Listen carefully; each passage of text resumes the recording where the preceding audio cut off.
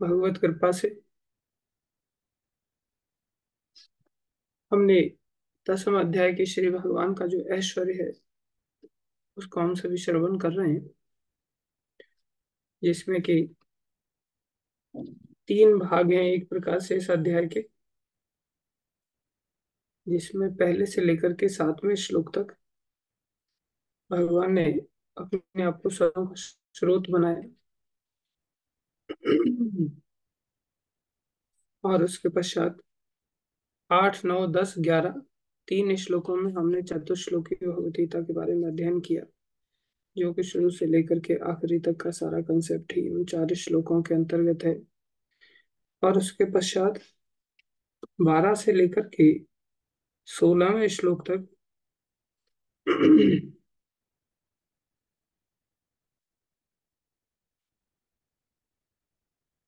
बारहवें श्लोक से लेकर के अठारहवें श्लोक तक अर्जुन के द्वारा कुछ वक्तव्य थे, जिसमें अर्जुन ने घोषणा किया था कि आप ये परम ब्रह्म है, परम धाम है, पवित्रम, परमम भगवान है, पुरुषम, शाश्वतम, दिव्यम, आदि देवम, अजम विभुम। भगवान के बारे में इतना अपनी ओर से घोषणा करने के पश्चात भी अर्जुन ने अठारहवें श्लोक में कहा विस्तरेन आत्मनो योगम अब विस्तार से कृपा करके अपने योग के बारे में बताइए। विभूतिम च जनार्दना, विभूतियों के बारे में बताइए। हम जब भगवान के बारे में सुनते नहीं है ना तो ही हमारे हृदय में संदेह उत्पन्न होते हैं। जब हम भगवान के बारे में नित्य प्रति सुनते हैं तो हमारे हृदय में से संदेहों का नाश हो जाता है। फिर संसार हमें संदेश संदेश पद नज़र आने लगता है। संसार अभी हमें विश्वास नज़र आता है। संसार में पूर्ण विश्वास होता है हमको, क्योंकि हम भगवान के बारे में अनभिज्ञ हैं। हमें भगवान के बारे में अधिक से अधिक जानना होगा। तो भगवान श्री कृष्ण अभी अर्जुन की इस प्रार्थना को सुनकर के उन्नीसवें श्लोक से लेकर के आखिरी श्लोक तक अपनी विभूतियों के बारे में बताते हैं। भगवान कह रहे हैं, श्री भगवान उवाच अंत ते कथयिष्यामि। दिव्या ही आत्म विभूत प्रधान्य प्रधान्यतः कुरु श्रेष्ठ नास्त्यंतो विस्तरस्य में। श्री भगवान ने कहा, अब मैं तुमसे अपने मुख्य मुख्य वैभव युक्त रूपों का वर्णन करूँगा। क्योंकि हे अर्जुन, मेरा ऐश्वर्य असीम है।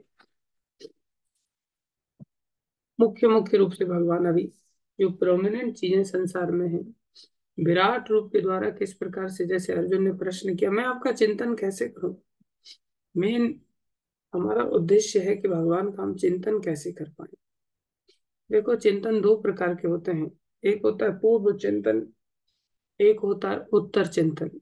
हम संसार में निरंतर चिंतन में लगे ही रहते हैं।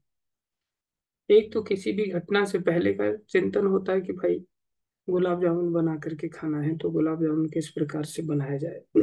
समोसा बना करके खाना है तो समोसा किस प्रकार से बनाया जाए? हमें नौकरी करनी है तो नौकरी किस प्रकार से की जाए? तो पूर्व चिंतन होता है व्यक्ति का। जैसे एकादशी आने वाली है तो एक व्यक्ति चिंतन करेगा, अरे यार, एकादशी फिर आगे बहुत जल्दी। एक व्यक्ति चिंतन करेगा, अरे, एकादशी इतना समय हो गया, अभी तक आई क्यों नहीं? तो एकादशी आने से पहले भी लोगों के अलग अलग तरह के चिंतन होते हैं। ऐसे ही हर कार्य को लेकर के पूर्व चिंतन होता है और हर कार्य को लेकर के उत्तर चिंतन भी होता है। समोसा खा लिया तो अच्छा समोसा बहुत बढ़िया था, बस थोड़ा सा नमक ज़्यादा हो गया था।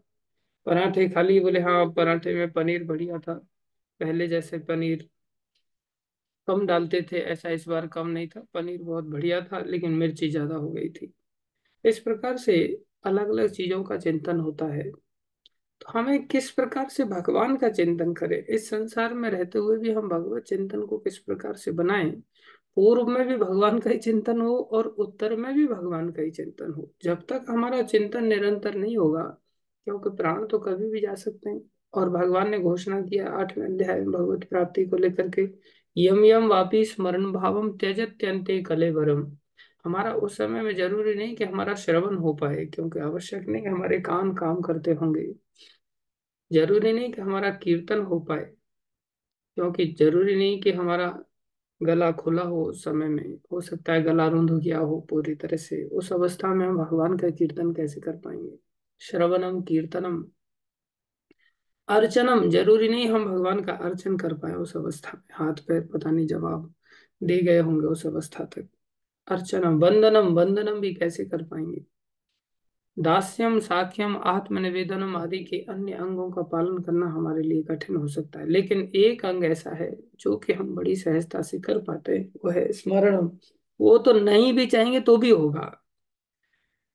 मन का काम है स्मरण करना। आप सो भी जाते हैं तो क्या मन सो जाता है आसानी से? मन कैसे कैसे सपने देखता है? निरंतर मन में कुछ न कुछ कुछ न कुछ स्मरण चलता ही रहता है। आप किसी भी कार्य में मग्न हो, लेकिन ज़रूरी नहीं कि आपका मन भी उस कार्य में मग्न हो। मन हो सकता है किसी दूसरे कार्य में मग्न होगा। मन तो निरंतर लगा ही रहता है। इसलिए भगवान ने अंतिम समय में स्मरण पर बल दिया। अंत काले मामेव स्मरण मुक्त कलेवरम ये स्मरण बहुत ज़रूरी है और ये स्मरण तीसरी क्रिया है भक्ति की, नवदा भक्ति के अंगों में अगर देखा जाए। पहली क्रिया है श्रवण, दूसरी क्रिया कीर्तन, तीसरा है स्मरण। कोई व्यक्ति सोचे, मरते समय तो भगवान का स्मरण करना है तो आखिरी में स्मरण कर लेंगे। बोले, इतना सहज नहीं होता। अगर आपने पूरे साल फिजिक्स पढ़ा और एग्ज़ाम में देकर के आप हाँ पहुँचे और वहाँ जाकर के पता चला आज केमिस्ट्री का एग्ज़ाम है तो क्या आपको केमिस्ट्री वहाँ याद आ जाएगी? बोले, कभी नहीं आएगी। अगर फिजिक्स पढ़ा है तो फिजिक्स ही याद आएगी। केमिस्ट्री की पढ़ाई की है तो केमिस्ट्री याद आएगा। साइंस की पढ़ाई की, अन्य चीज़ों की पढ़ाई की तो जो सब्जेक्ट पढ़ा है आपने, वही सब्जेक्ट आपको परीक्षा के समय में याद आ सकता है। नहीं पढ़ा है तो कुछ भी याद नहीं आएगा, फिर डर लगेगा। कुछ लोगों को डर लगता है एग्ज़ाम से पहले। कुछ लोगों को खुशी मिलती है, चलो एग्ज़ाम होगा, झंझट छूटे हम आगे की क्लास में चले जाएँगे। तो परीक्षा तो हमें आगे की क्लास में ले जाती है, हमारे लिए डराने वाली चीज़ नहीं है। लेकिन हमारा जीवन काल में कैसा हमने व्यतीत किया है, उसके अनुसार ही हमारा परिणाम घोषित होता है।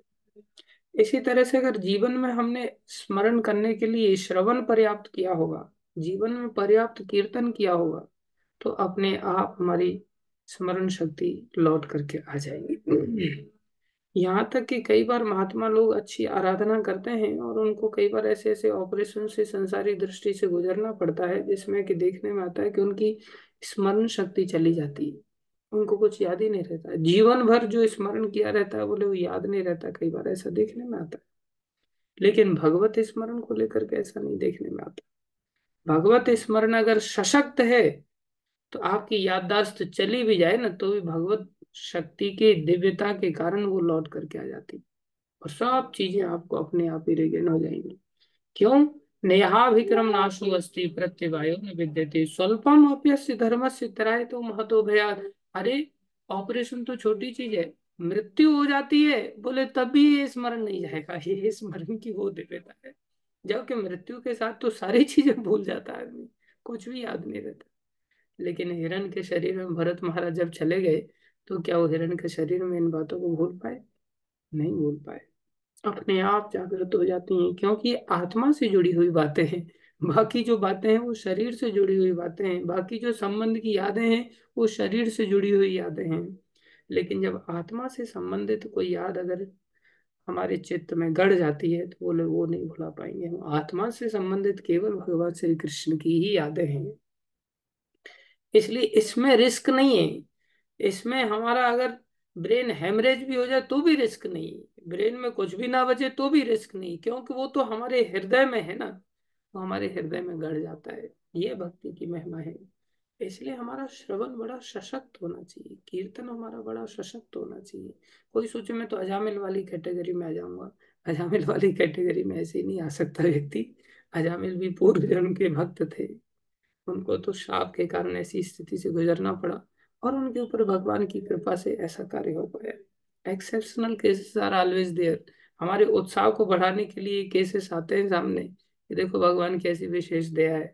इसका अर्थ ये नहीं कि जनरली कोई व्यक्ति इसी प्रकार से अपने पत्नियों को छोड़ करके और वेश्याओं के साथ गमन करने लग जाए और फिर आठ दस बच्चे पैदा करके और फिर उल्टे सीधे मांसाहार, हिरण वगैरह, मुर्गे फुर्गे मरोड़ करके और फिर बाद में बोले कि मैं नारायण नाम रख दूँगा हमने बेटे का और नारायण नाम रख ही नहीं पाएगा व्यक्ति।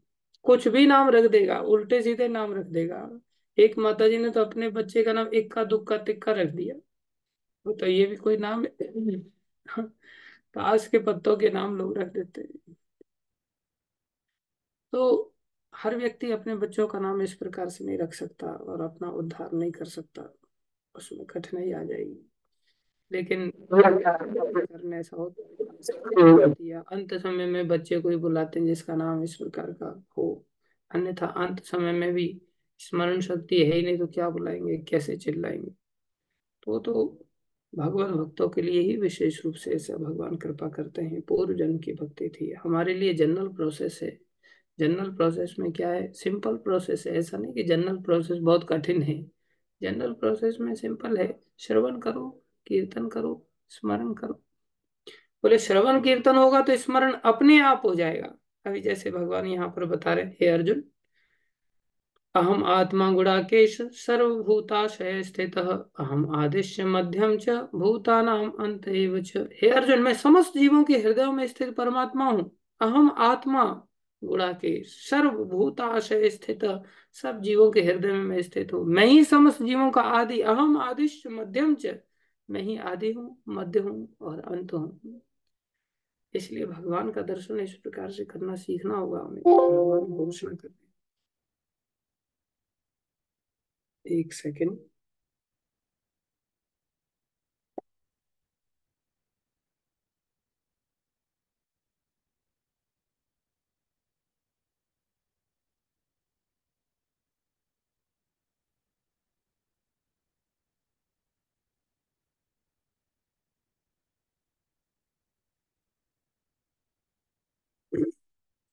भगवान ने यह घोषणा किया। बोले मैं ही आदि हूँ मैं ही मध्य हूँ, मैं ही अंत हूँ सब जीवों का। किसी व्यक्ति को हम इस प्रकार से संसार में देखना चाहें, भगवान का दर्शन संसार में कैसे किया जाए? भगवान का साक्षात रूप से इस प्रकार से दर्शन दे कर सकते हैं। कोई व्यक्ति पैदा हो रहा है, ओहो, भगवान एक प्रकार से इसके रूप से पैदा हो रहे किसी का मध्य है, मध्य अवस्था में कोई पहुँच गया, उसको भगवान के रूप में देख सकते हैं। कोई मर रहा बोले और कुछ नहीं, सब भगवान का ही सब खेल है। भगवान ही यहाँ पर अंत रूप में अपने आप को यहाँ पर इस माध्यम, इसके माध्यम से प्रदर्शित कर रहे आगे भगवान कह रहे आदित्या नाम अहम विष्णु ज्योतिषा नाम रविर, अंशुमान, मरीचिर मरुताम अस्मी नक्षत्र नाम अहम शशि। भगवान कह रहे मैं आदित्यों में विष्णु हूँ, प्रकाशों में तेजस्वी सूर्य और मरुतों में मरीचि तथा नक्षत्रों में चंद्रमा हूँ। चंद्रमा को देखते ही हम भगवान का याद कर सकते याद रखें हम इस बात को, कई बार हम नहीं समझ पाते। ये भगवान का विराट रूप है। ये प्रमुख प्रमुख शक्तियों में भगवान अपना अस्तित्व यहाँ पर प्रदर्शित कर रहे हैं। इसका अर्थ ये नहीं कि भगवान चंद्रमा ही है, भगवान चंद्रमा से अलग नहीं है। भगवान कह रहे हैं, इनके पास जो शक्ति है, वो मेरी शक्ति है। मैं ये होते हुए भी इनमें नहीं हूँ, मैं अलग से भी हूँ।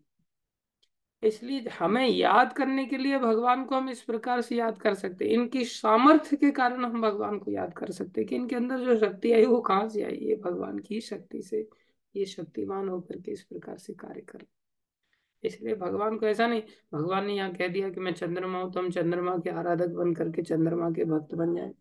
भगवान ने कह दिया, मैं नक्षत्र हूँ तो नक्षत्रों में बोले, मैं इस प्रकार से नक्षत्र बन करके भगवान की आराधना करने लग जाए ठीक है संसार में अगर कोई करता है तो उसको लाभ भी होगा, लेकिन पूर्ण लाभ तो उसको भगवान श्री कृष्ण का अनन्य भक्त बनने से ही होगा।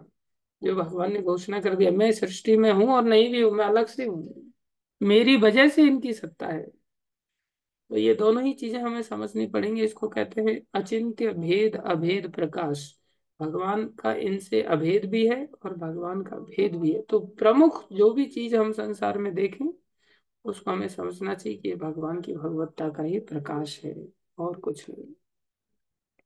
जैसे भगवान आगे बता रहे हैं, वेदानाम साम वेदो अस्मि, देवानाम अस्मि वासव, इंद्रियानाम मनश्चास्मि भूतानाम अस्मि चेतना। मैं वेदों में सामवेद हूँ, देवों में स्वर्ग का राजा इंद्र हूँ और इंद्रियों में मैं मन हूँ। हम सबका मन भी बोले भगवान का ही सूचक है। और फिर तो कोई बोले कि भाई भगवान के अंदर ऐसी इच्छा हो रही है कि आज पकौड़े खाने इसलिए बोले पकौड़े का भोग लगे। बोले, कैसे पता चला? बोले, मेरे मन में इच्छा हो रही है और गीता में भगवान ने कहा है कि मैं इंद्रियों में मन हूँ। ऐसे नहीं। ये तो हमारा गंदा मन है जो इस प्रकार से अपने को लेकर के इच्छा करता है। दूसरा एक अच्छा मन भी होता है जो शुद्ध हो जाता है। शुद्ध अवस्था में वो भगवान का ही ध्यान करता है, भगवान का ही चिंतन करता है। उस अवस्था वाला जो मन है, वो भगवान का सूचक है। अन्यथा भगवान पहले गीता में घोषणा करके आ गए, सबसे बड़ा शत्रु तो बोले मन ही है और सबसे बड़ा मित्र भी बोले मन है। अगर ये अनियंत्रित है तो ये सबसे बड़ा शत्रु है। नियंत्रित है तो ये सबसे बड़ा मित्र है। वही भगवान ने घोषणा किया है अपने बारे में भी, बोले, मैं ही अमरत्व भी हूँ और मैं ही मृत्यु भी हूँ। तो भगवान कह रहे हैं, मृत्यु भी मैं ही हूँ तो कौन सा वाला मन भगवान है? बोले, इस दृष्टि से देखा जाए तो दोनों ही मन भगवान है। एक मृत्यु कराने वाला शत्रु रूप में, वो भी भगवान फिर बन करके हमारा व्यवहार करते हैं, हमारे साथ व्यवहार करते हैं। जैसे कंस के लिए भगवान श्री कृष्ण मृत्यु रूप में प्रकट हुए, उसको सर्वत्र कृष्ण ही कृष्ण दिखाई देते थे। तो हमारी इच्छा, हम भगवान को किस प्रकार से अंगीकार करना चाहते हैं? मृत्यु के रूप में अंगीकार करना चाहते हैं तो फिर भयावह रूप में भगवान को हमें अंगीकार करना पड़ेगा, जो कि कष्ट कारक है। इसलिए भगवान कह रहे इंद्रिया नाम मनुष्य मनुष्यास्मी, कौन सा वाला मन हमें चाहिए? बोले, शुद्ध वाला मन, जो कि भगवान से मिलाने वाला है। भूता नाम अस्मि चेतना, बोले, जो चेतना शक्ति जीवों के अंदर पाई जाती है, जीवनी शक्ति जिसको कहते हैं, आत्मा शक्ति जिसको कहते हैं, बोले, मैं हूँ। तो किसी को भी चेतनता के माध्यम से हम दर्शन करें तो समझना चाहिए, ये भगवान की शक्ति है। ये संसार में कोई बोले भोजन से आ जाते, बोले भोजन में भी जो शक्ति दी गई वो कहाँ से आई? बोले वो चेतना भी, वो भी तो भूत हैं, वो भी तो जीव हैं। चावल भी तो जीव है, गेहूँ भी तो जीव है, जहाँ से हमें चेतना प्राप्त हो रही है तो वो जीव, जीवों की चेतना शक्ति केवल और केवल भगवान से आती है। संसार में कोई किसी वस्तु को चेतन स्वयं अपनी ताकत से नहीं बना सकता। भगवान की चेतना शक्ति से ही चीज़ें संभव है। रुद्रानाम शंकरश्चास्मि। रुद्रों में स्वयं शंकर। हूँ वित्तेषु यक्ष रक्षसाम वसुनाम पावकाश्चस्मि। मेरु शिखर नाम मैं समस्त रुद्रों में शिव हूँ। यक्षों तथा राक्षसों में संपत्ति का देवता कुबेर हूँ। वसुओं में अग्नि हूँ और समस्त पर्वतों में मेरु हूँ। अग्नि को दर्शन करते ही, शंकर जी के दर्शन करते ही समझना चाहिए, ये भगवान की शक्ति है। पुरोधुषाम च मुख्यम माम। याद रखें हम इस बात को। एक भक्त था, शंकर जी का भक्त था। जंगल में रहता था। भगवान को पत्र, पुष्प आदि, बेल पत्र जैसे चढ़ते हैं और भगवान के अलग अलग पुष्पों से बड़ी आराधना करता था। एक भक्त भी वैष्णव भी, जो भगवान विष्णु की आराधना करता था, वो भी वहाँ पर पहुँच गया। तो वो यात्रा के लिए कहीं जा रहा था तो रास्ते में उसने देखा कि यहाँ थोड़ा विश्राम कर सकते हैं, थोड़ा खाने पीने को भी मिल सकता है। और रात भी हो गई थी तो उसने सोचा, मैं रात गुजार लेता हूँ इस व्यक्ति के सहारे। जंगल का समय है, जंगली जानवरों का भय है। क्यों संसार में अब इधर उधर आगे बढ़ करके अपने जीवन को रिस्क में डाला जाए? तो उसके साथ ही उसने रहने के लिए अपने आप को तैयार कर लिया। और उसे कहा कि, मैं आपके साथ बोले, क्यों नहीं रह सकते? अवश्य रह सकते हो। तो रात को दोनों लोग साथ में रुक गए। दोनों लोग जब साथ में रुक गए तो रात को जो शिव जी का भक्त था, उसको बुखार आ गया। बुखार आ गया तो सुबह में वो बुखार में उसको बोला कि भैया, आज तुम मेरे ठाकुर जी की सेवा कर दो। तो बोले, मैं तो अनन्य भक्त हूँ, मैं तो भगवान विष्णु का भक्त हूँ। मैं तुम्हारे शंकर भगवान की सेवा कैसे कर सकता हूँ? तो उसने बोला, देखो, एक तो जिस थाली में खा रहा है, उसी थाली में छेद कर रहा है इसका दुस्साहस देखो, रात को मैंने इसकी जान बचाई जंगली जानवरों से और मेरा इतना सा काम करके नहीं दे रहा, सीधा तलवार निकाल लिया उसने। बोले, तू करेगा कैसे नहीं? तेरे को सेवा करनी पड़ेगी। कई बार ऐसी स्थिति आ जाती है। तो बड़ा असमंजस में गया बोले, मैं तो भगवान श्री कृष्ण का या भगवान विष्णु की अनन्य भक्ति करता हूँ। ये शंकर जी की उपासना के चक्कर में कहाँ से पड़ गया मैं? और ये तो जान से मार देगा पूरी तरह से। जैसा इसका रूप भयानक दिखाई दे रहा है। इतना उत्तेजित हो गया, इतना क्रोध में आ गया। वो बोले, तू कर अभी, नहीं तो देख एक और तलवार है, एक और सामने तेरी सेवा है। बेचारा परेशान होकर के इस श्लोक को याद करने लग गया और उसने सोचा रुद्रा नाम शंकर भगवान ने कहा, रुद्र में मैं स्वयं शंकर हूँ। शंकर भगवान को फल, पुष्प वगैरह सब अर्पण करने लग गया। अर्पण करते समय भगवान को, शंकर जी को नमन करते हुए कह रहा है, आप ही तो श्री कृष्ण हैं। और जैसे ही उसने कहा कि आप ही श्री कृष्ण हैं, उसको बड़ा बुरा लगा, बोले अच्छा तो मेरे ठाकुर जी को भी तूने कृष्ण बना दिया।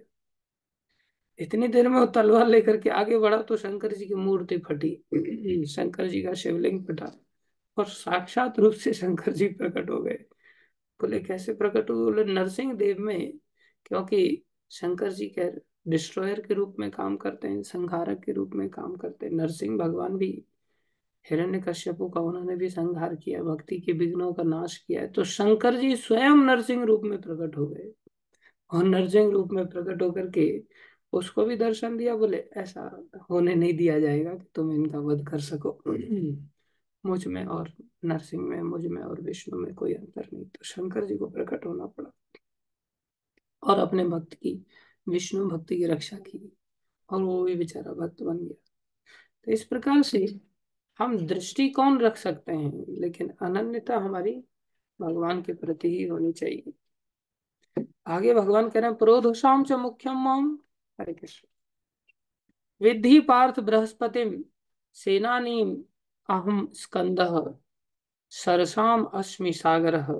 हे अर्जुन, मुझे समस्त पुरोहितों में मुख्य पुरोहित बृहस्पति जानो। मैं ही समस्त सेना नायकों में कार्तिकेय हूँ और समस्त जलाशयों में समुद्र हूँ। इस प्रकार से भी व्यक्ति समझ सकता है। जैसे मान लो, चलो बृहस्पति तो हमें नहीं दिखाई दे रहे। तो हम कैसे संसार में हाँ कोई देवलोक में अगर है तो उसको बृहस्पति गुरु के रूप में दिखाई दे सकते हैं। लेकिन हम समुद्र को तो देख ही सकते हैं। समुद्र में जब भी जाए, उसको किलोल का कारण न बनाए कि जाकर के चलो, हम जाकर के किलोल करते हैं, अंदर खेलते हैं। बोले, नहीं, भगवान का अनुभूति करो। भगवान का आश्चर्य बुद्धि से आश्चर्य लेना चाहिए। बोले, पुरोहित, हम बृहस्पति, मैं ही समस्त सेना नायकों में कार्तिक हूँ और समस्त जलाशय में समुद्र हूँ।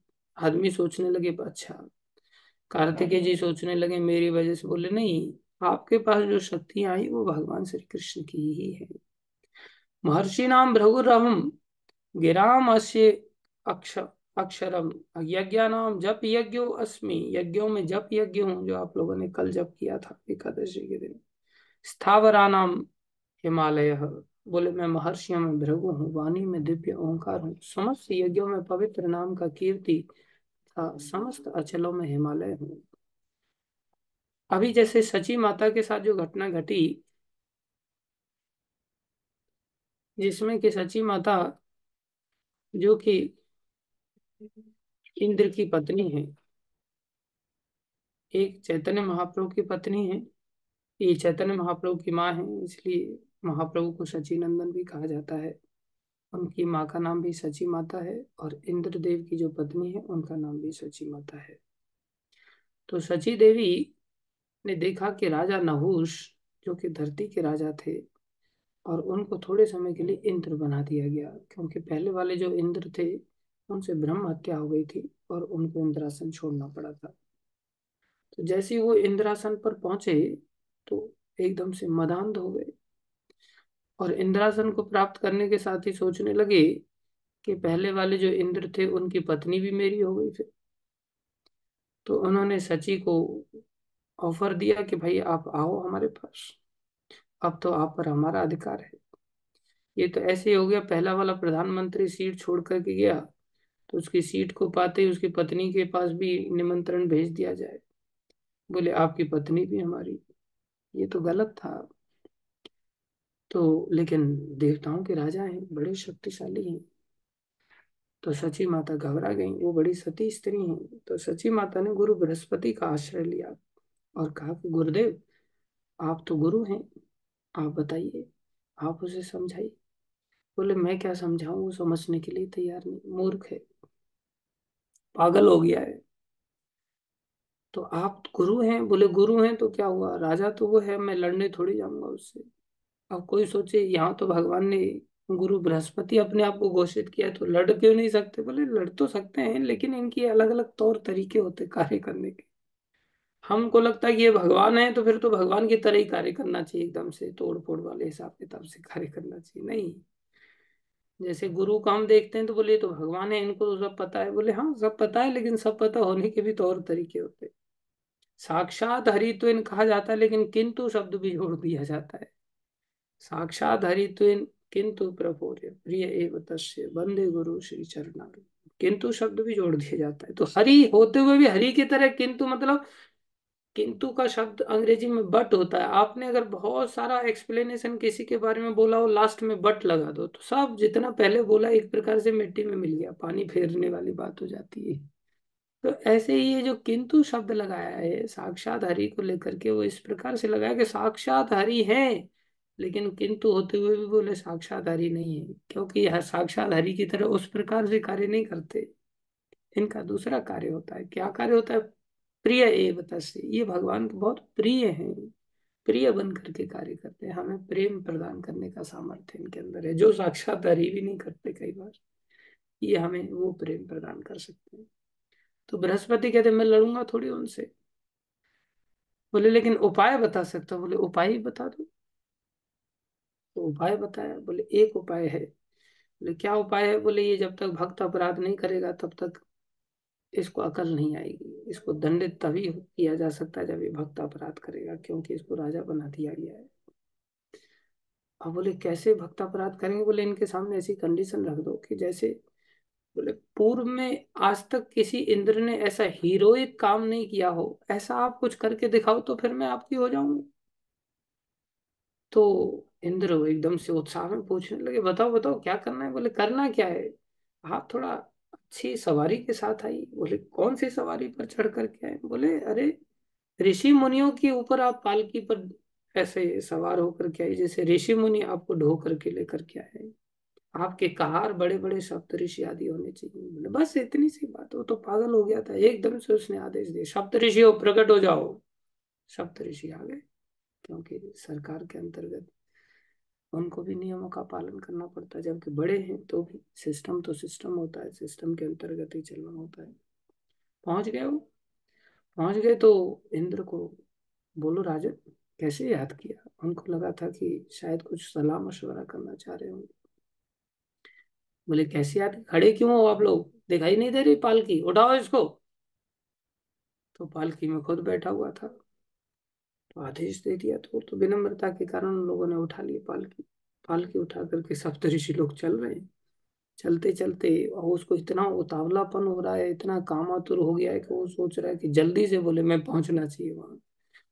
वो बार बार बार बार वो कह रहा है, अरे तेज चलो तेज चलो। सब लोग प्रयास कर रहे हैं। फिर एकदम से अगस्त ऋषि के खोपड़ी पर उसने लात मारा पालकी के अंदर से और लात मार के कर सर्पम गच्छ। सर्पम गच्छ मतलब सर्प की गति से बहुत तेज़ी से चलो। जैसे ही उन्होंने लात मारा तो उनको बड़ा क्रोध आया। बोले अच्छा तुम ज़्यादा ही सर के ऊपर से तुम्हारा पानी बह गया। बोले, सर्पम गच्छ, दुष्ट सर्पम भव। अभी तुम सीधे सर्प बन जाओ। हमें सर्प की, बहुत तुम्हें याद आ रही है, सर्प की गति से तेज़ी से चलो। सर्पम भव।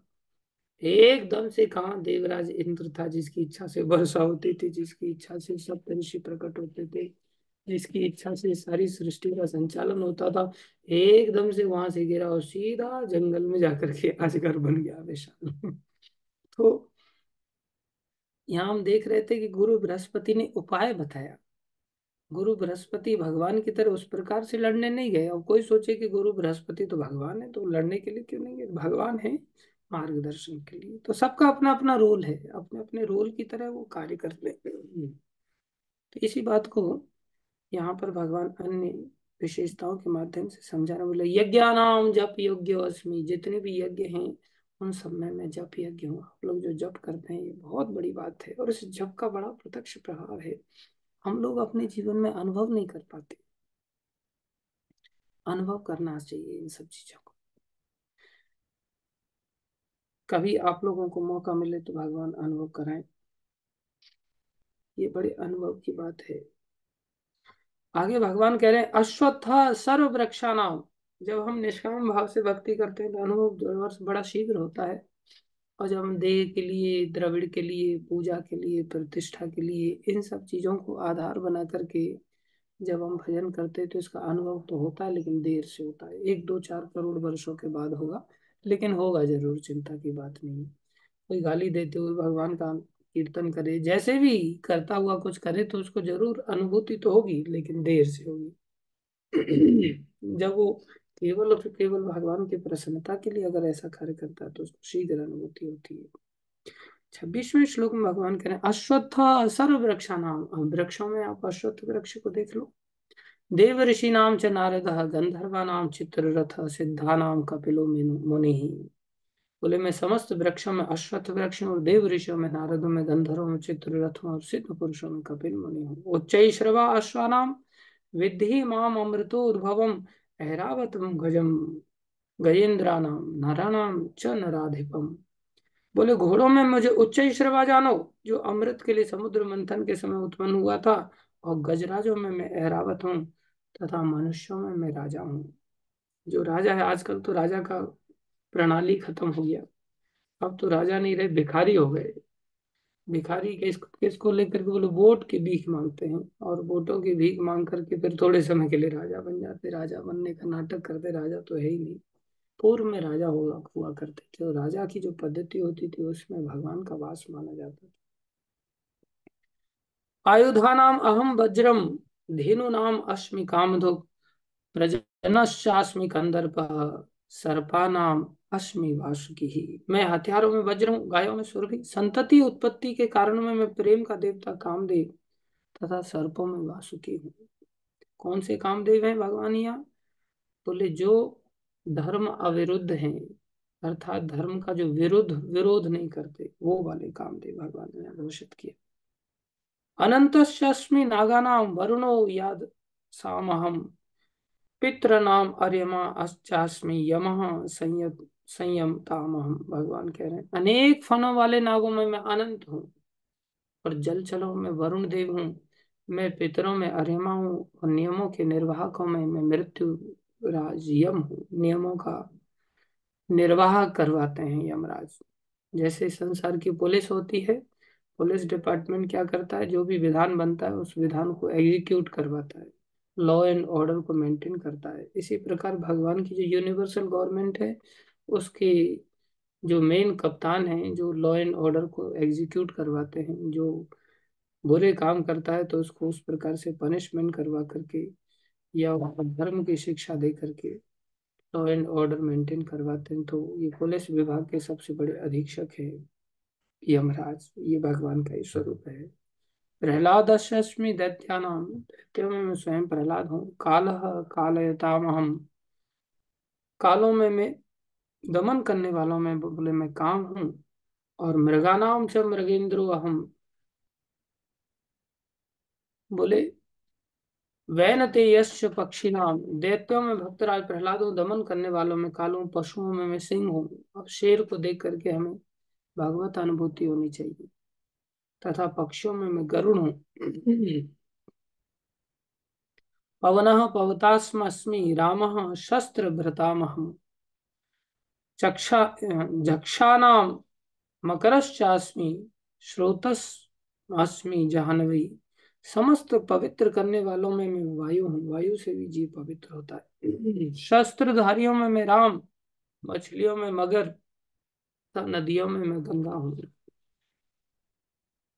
सर्गानाम आदिर अंत मध्यम चैवाहम चर अर्जुन। अध्यात्म विद्या विद्यानाम वाद प्रवदता हम मैं अर्जुन, समस्त सृष्टियों का आदि, मध्य और अंत हूँ। मैं समस्त विद्याओं में अध्यात्म विद्या हूँ। अर्थात विद्याओं का जो राजा भगवान पहले घोषित करके आ गए। अर्थात जो श्रेष्ठ वस्तुएँ हैं, उनका ही भगवान यहाँ वर्णन कर रहे हैं। और तर्क शास्त्रियों में निर्णायक सत्य हूँ। बहुत सारी चीज़ें हम तर्क के माध्यम से सीखते हैं। अक्षरा नाम अकारो अस्मि द्वंद्व समासिक अहम एव अक्षय कालो धाता अहम विश्व तो मुखम अक्षरों में मैं अकार हूँ, जो भी सृष्टि है, बिना शब्दों के नहीं चल सकती। शब्दों से ही सारी सृष्टि चलती है। उसमें भी अशब्द सबसे पहले आता है। बोले वो मैं ही हूँ और समासों में द्वंद्व समास हूँ। मैं शाश्वत काल भी हूँ और सृष्टाओं में ब्रह्मा हूँ। ब्रह्मा भगवान का ही रूप है। शक्ति के माध्यम से ये भगवान की शक्ति। मृत्यु सर्वहरश्चाहम उद्भवश्य भविष्यताम कीर्ति श्री वाक्ष नारी नाम स्मृतिर्मेधा धृति क्षमा मैं सर्वभक्षी मृत्यु हूँ। भगवान ने घोषणा मृत्यु के बारे में भी किया है। और मैं ही आगे होने वालों में उत्पन्न होने वाला हूँ। उत्पन्न करने वाला हूँ। स्त्रियों में मैं कीर्ति हूँ। श्री वाक स्मृति मेघा धृति तथा क्षमा हूँ। बृहत्साम तथा सम, बृहत्साम तथा समाग्नाम गायत्री छंदसाम हम महासा नाम मार्ग शीर्ष हम ऋतुनाम कुसुमाकर मैं सामवेद के गीतों में बृहद साम और छंदों में गायत्री हूँ। समस्त महीनों में मार्गशीर्ष अगहन का महीना हूँ तथा समस्त ऋतु ऋतु फूल खिलाने वाली वसंत ऋतु हूँ। द्यूतम छलयतास्मस्मि भगवान कहते हैं among the cheaters I am the greatest cheater and among the gambling I am the gambler बोले, तेजस, तेजस्वी नाम हम जयो अश्मि, व्यवसायो अश्मि। सत्वम सत्वताम हम मैं छलियों छलियों में जुआ हूँ और तेजस्वियों में तेज हूँ। मैं विजय हूँ, साहस हूँ और बलवानों का बल हूँ। जितनी भी ताकत कहीं देखते हैं तो हम उस व्यक्ति को आकर्षित हो जाते हैं। उस व्यक्ति को आकर्षित न होकर के हमें भगवान को आकर्षित होना चाहिए कि ये ताकत इसके अंदर भगवान का ही रूप है। ये भगवान के अतिरिक्त और कोई शक्ति नहीं संसार में।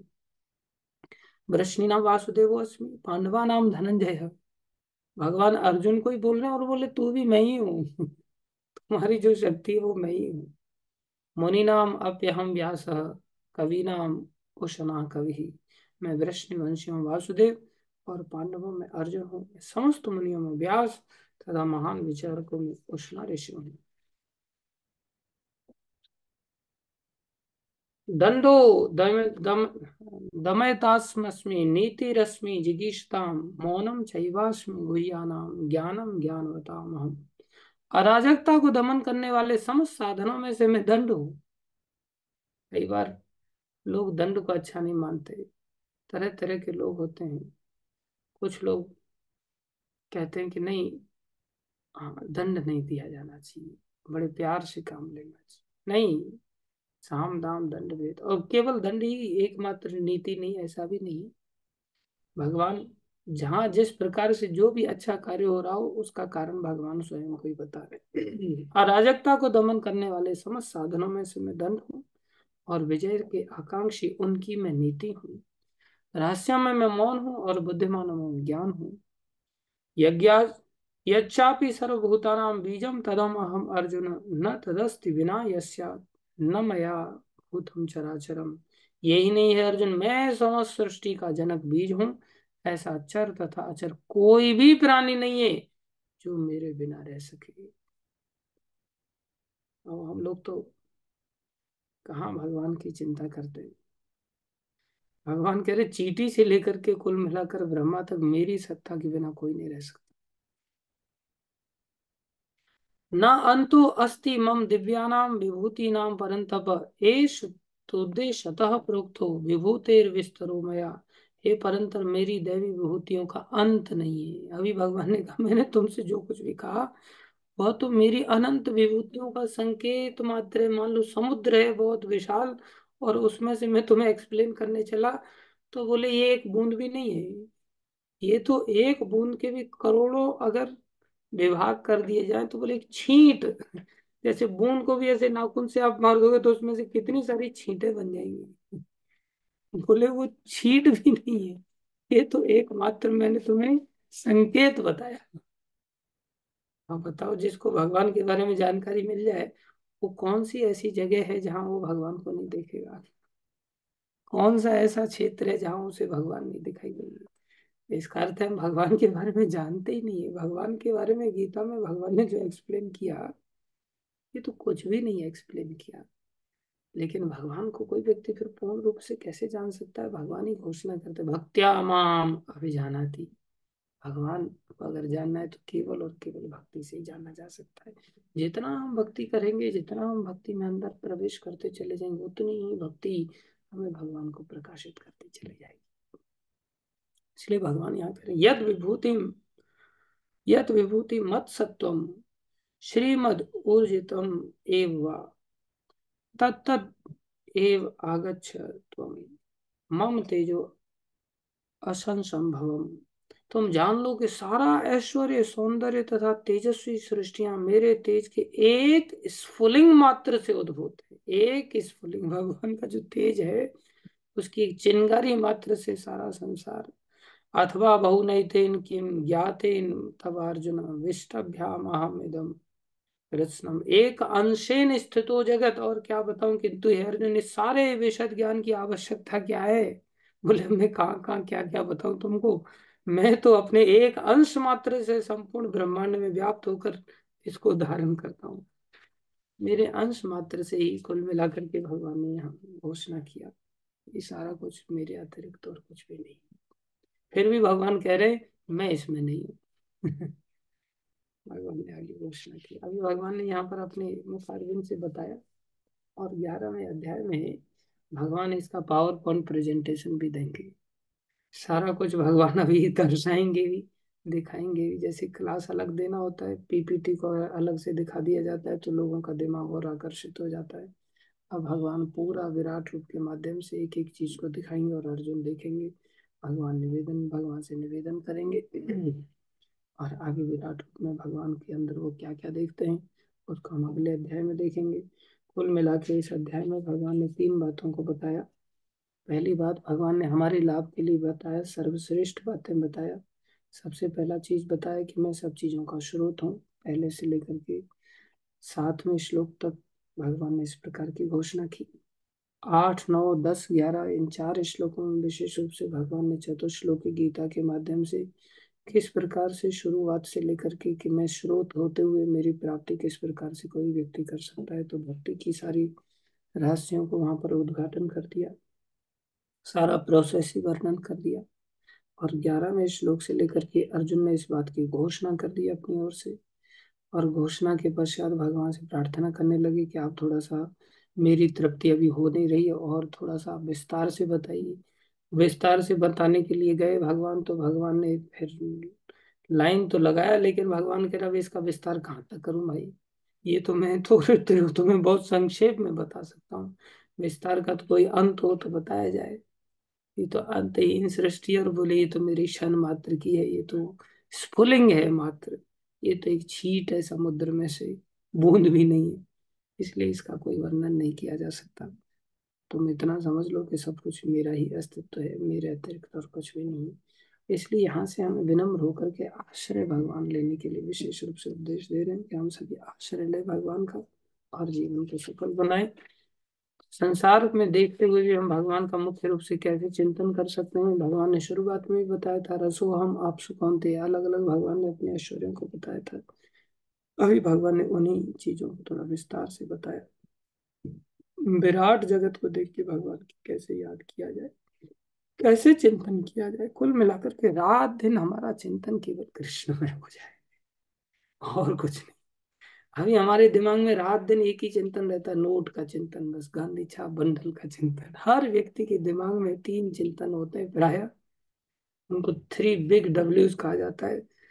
या तो वेल्थ का चिंतन होता है, जिसमें गांधी छाप बंडल का चिंतन रहता है निरंतर, या फिर वुमेन का चिंतन होता है, जिसमें काम का चिंतन व्यक्ति करता है। वुमेन का मतलब ये नहीं है कि केवल स्त्री चिंतन, पुरुष स्त्री का चिंतन करता है, स्त्री पुरुष के चिंतन में डूबी रहती है। ये एक चिंतन चालू रहता है निरंतर। तीसरा चिंतन वाइन का चिंतन होता है, ये भी बड़ा डब्लू है। Women wealth and wine wine मतलब नशा। हम सब नशे में डूबे हुए, नशेड़ी भंगड़ी बन करके। भगवान को अगर नहीं याद कर पा रहे, भगवान को अगर नहीं देख पा रहे हैं, ऐसे ही है कि जैसे नशे में व्यक्ति गटर को नहीं देख पाता और गटर में पड़ा रहता है। इसी तरह से हम वास्तव में भगवान को नहीं देख पा रहे हैं, इसका अर्थ है कि हम नशे में हैं। तो हमारी स्थिति चिंतन की बहुत गई गुजरी स्थिति है। हमें इसको ऊपर उठाना है। अभी ऊपर उठा पाएँगे। भगवान को जान करके ही। तो भक्ति के अंगों का पालन करें सबसे बेस्ट प्रोसेस है। इसमें श्रवण सबसे श्रेष्ठ है। उसके साथ ही कीर्तन और उसके साथ ही अपने आप स्मरण होने लगेगा और हमारा रास्ता साफ़ हो जाएगा। धन्यवाद धन्यवाद सभी भक्तों का। धैर्यपूर्वक श्रवण करने के लिए।